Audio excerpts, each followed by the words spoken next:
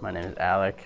I am IT Help Desk Team Lead, and I've been here for over two and a half years. It'll be three years in June. I'd say as a team lead, I see every ticket that comes in and decide if it's something that the help desk can handle or if it's something that needs to be pushed over to the systems team.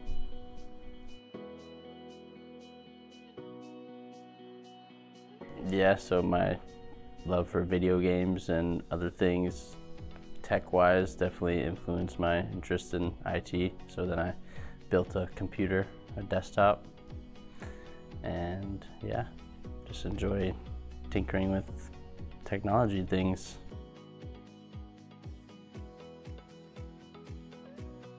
Um, in high school, I was in the IT program and got my internship.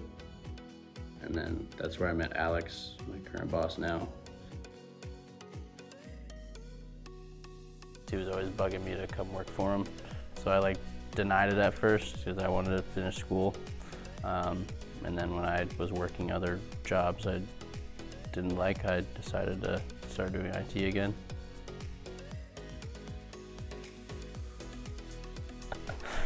Um, yeah, being on the IT help desk team, I can be myself with my coworkers and not have issues expressing problems to them, whether that be personally or in the work space.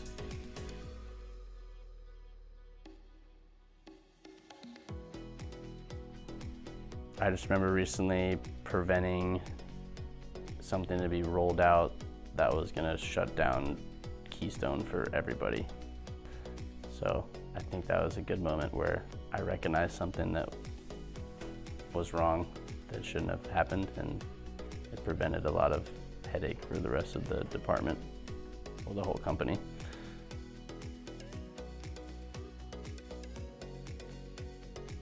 I don't know, I feel like it's not common knowledge that I do all like these extreme sports. So like I do downhill mountain biking and surfing and skateboarding, dirt biking as much as I can every weekend.